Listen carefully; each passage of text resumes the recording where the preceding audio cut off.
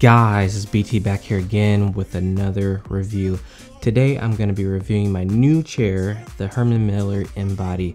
I don't know if you guys have noticed this in the videos, but I have bought a new chair. I'm to tell you guys a little bit about why I upgraded to the Herman Miller Embody from the Steelcase Leap version 1. Both, by the way, are tremendous chairs. They're both very, very good. I like both.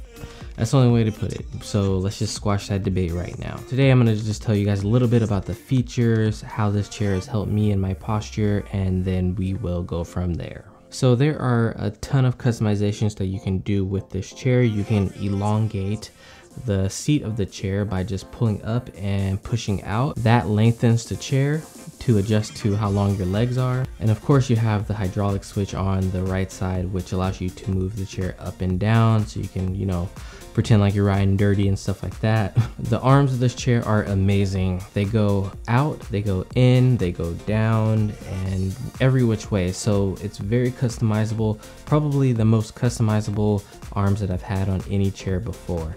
I like that the Steelcase Leap uh, swiveled in a little bit, but these are actually really good as well. They're very comfortable, they're very light. It doesn't feel like very like they get in the way of you doing your tasks. On the back you have a lever that allows you to go down multiple stops, however you want to lean back or how far you want to go back. You can adjust the levels to that. There's also a tension adjustment for the back so if you lean back it adjusts how fast or slow you can do that.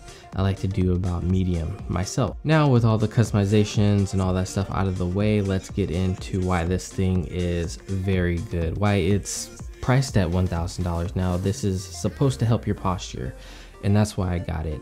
So with the leap, I found myself kind of hunching still. I found myself, while comfortable, still kind of being in a position that wasn't good for my back.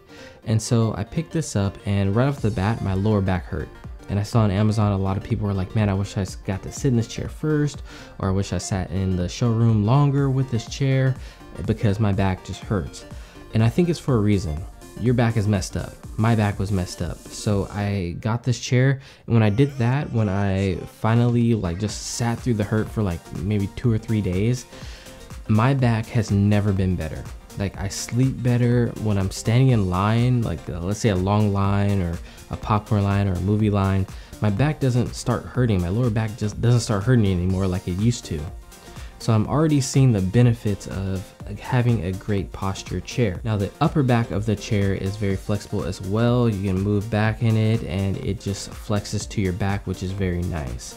But main thing here is for me was the lower back. This thing just gives you so much lumbar support. So some things that I don't like about the chair, I don't like the seat that much. I feel like there could be more cushion there while comfortable while you get used to it. Something like the Leap from Steelcase, it, the seat is just on a whole nother level. So if they could have added a seat like that into this, it would have been amazing but this one does feel good just not as good as like a Steelcase another thing that i really like about this chair is how light it is. It's very light you can move it around. That's another thing that the Steelcase just seems kind of clunky to me.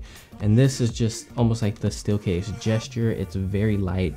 You can move around your desk if you have a big desk very easily without banging into stuff. So that's nice as well. Now another thing that i had to get used to was that this chair kind of leans back just slightly right and I think that has to do with posture. If you sit completely down in this and try to sit upright, I can't do it. Like my back doesn't work that way.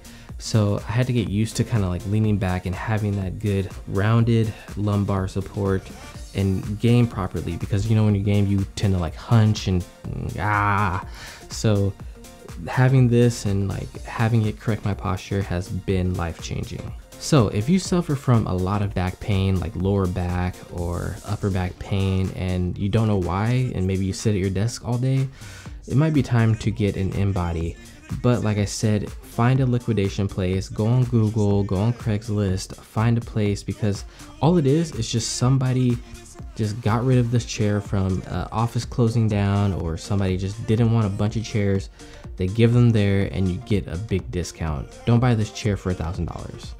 Buy it for about three to four hundred dollars. I'd say five max. And it's a win-win. Just steam clean it and you are good to go. It's brand new. I'll take a couple scratches for seven hundred dollars off but that's just me you can do whatever you want to do but I'm trying to save you guys some money. So if you guys have enjoyed this video, if you learned something today, or if you just want to say hi, drop a comment down below, like, share, and comment, or you said comment on this video for more content like this.